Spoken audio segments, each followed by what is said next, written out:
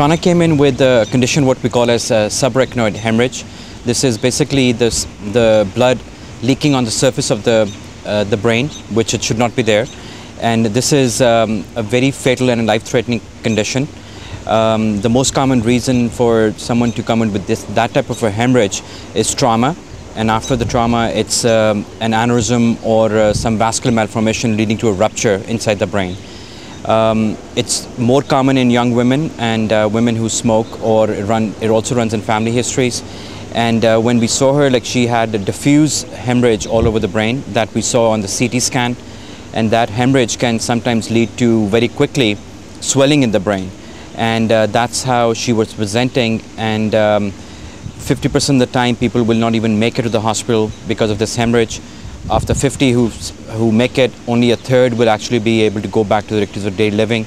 And she's one of those fortunate ones that who actually was able to do that. I live in Morris, Illinois, um, and I'm 40 years old. And I was really sluggish that day, and it was really cold out. I know I had to clean my house, so I wanted to get some fresh air after the walk. So I was trying to bypass all the street lights because they take forever to get through in Morris, and I wound up going into the Walmart parking lot. And right when I got in there, I felt this pressure in the back of my head and I'm like, oh no, something's wrong. And I tried stepping on my brake, and that's, I guess, when I passed out and I bumped into a tree. Um, the ambulance came, they took my blood pressure, um, got me out of the vehicle into the ambulance. Um, they took me to the hospital.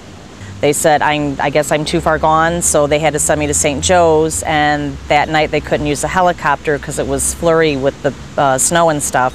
So they transported me by ambulance to St. Joe's. Um, she initially was stabilized in the neuro ICU.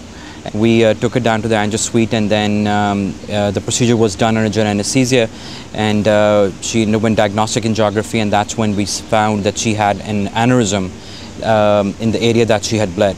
In her case, like uh, we were able to save her a major surgery and uh, we did uh, the coiling.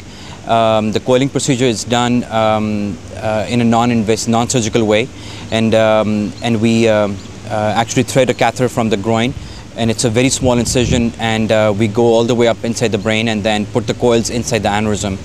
Um, and the basic the idea is um, to pack the aneurysm so that there's no more blood coming into the aneurysm and you cut it off from the circulation.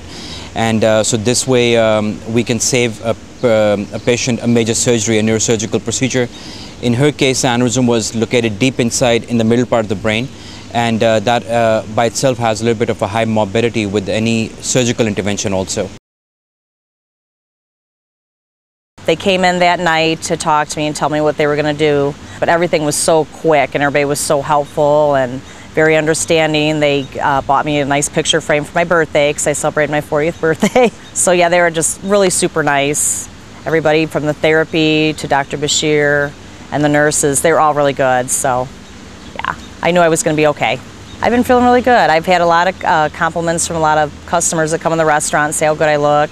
I feel much better, much happier more relaxed. Yeah, I'm doing really good, eating really healthy again, a lot more healthier. So everybody at work says eat too healthy, but now I'm really healthy, so. Well, I'm extremely happy that she has made a tremendous recovery. She is able to look after her son. And then um, I always believe that things happen to you for a reason.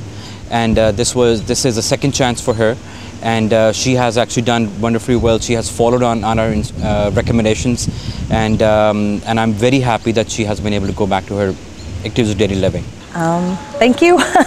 I don't want to cry, but thank you. I got to see Brendan. That was a big thing. Hi.